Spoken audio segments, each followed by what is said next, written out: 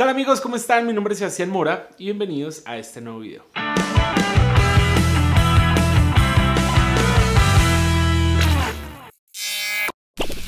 El video de hoy que ya es el capítulo 3 de armar tu pedalboard desde cero y todo lo que debes saber. En el primer capítulo vimos sobre la base, en el segundo capítulo vimos sobre la power supply.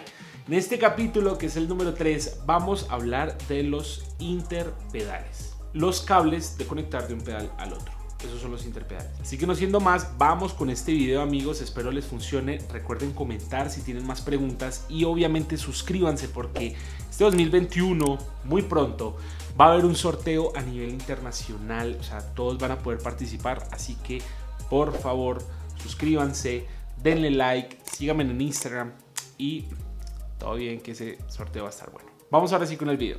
Listo amigos, para explicarles un poco sobre los cables interpedales, voy a hacerlo desde aquí.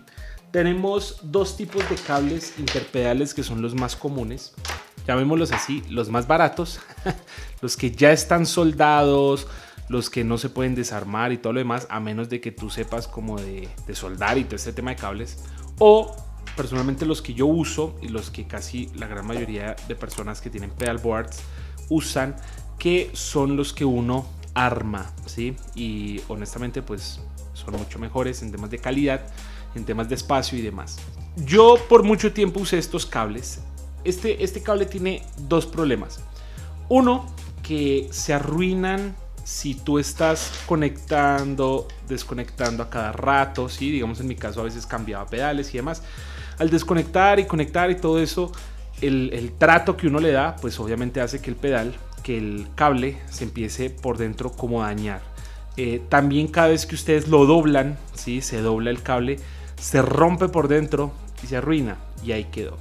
Y otro problema es el espacio, si se dan cuenta es súper grande el, el, conector y para conectar de un pedal de otro a veces no daba facilidades y que, quedaba corto el espacio.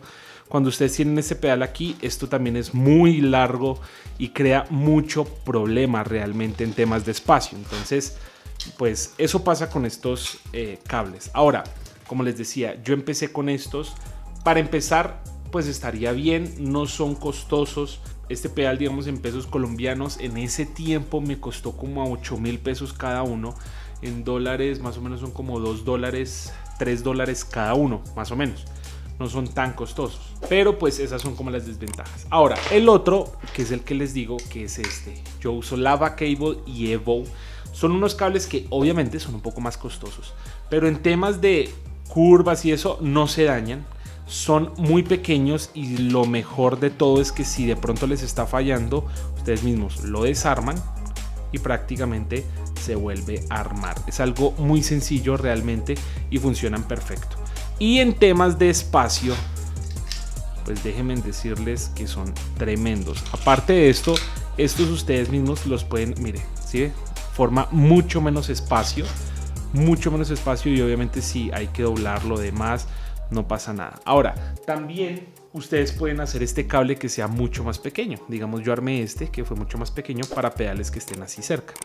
Digamos, este cable obviamente es uno mucho más largo cuando la, el cable, la extensión obviamente es muy larga. Pero entonces digamos, obviamente ustedes lo pueden crear largo o cortico. Entonces realmente les recomiendo estos cables.